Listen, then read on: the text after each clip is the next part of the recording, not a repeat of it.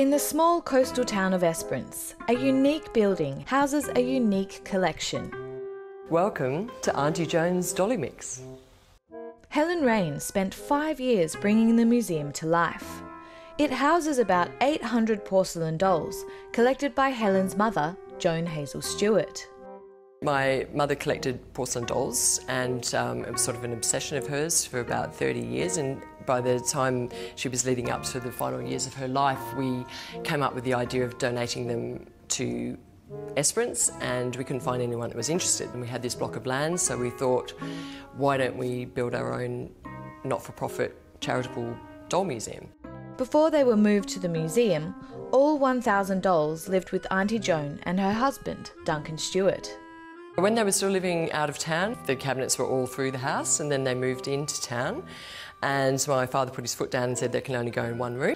Uh, but they did spill out a little bit, obviously, because there's so many of them, but they were completely crammed in. You couldn't actually make out what they were wearing or who some of them were. We've edited these heavily so that you can actually see what you're looking at, and there's still hundreds at the house. Joan and Duncan were married for 56 years. She was lovely. She suited me.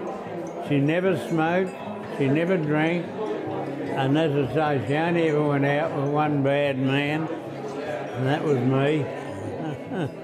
he says her doll obsession started on a trip to America. The first time we went, uh, she bought three dolls. A couple of days later, I said, What are you carrying now? I said, Some dolls. She saw, said, I saw some that I couldn't refuse to buy. She bought two more, and I said, well, you can bloody well carry them. Auntie Joan was also known for her charity work. The museum is continuing that tradition. And we're not going to charge for people to come and look at the dolls, it's going to be a, a, donation only. But anything that we do make above our operating costs is going to go into our charity. Betty Keetle was friends with Joan for 40 years. They met volunteering for Meals on Wheels. When I walked in, I couldn't help but cry to see how beautiful it looked. She was a woman that was very generous, very understanding. She well deserves this. Auntie Joan's family agree she'd be pretty pleased herself. She'd look down from heaven and say, spot on. Uh, she would be absolutely thrilled. The museum is expected to be open to the public in the coming months.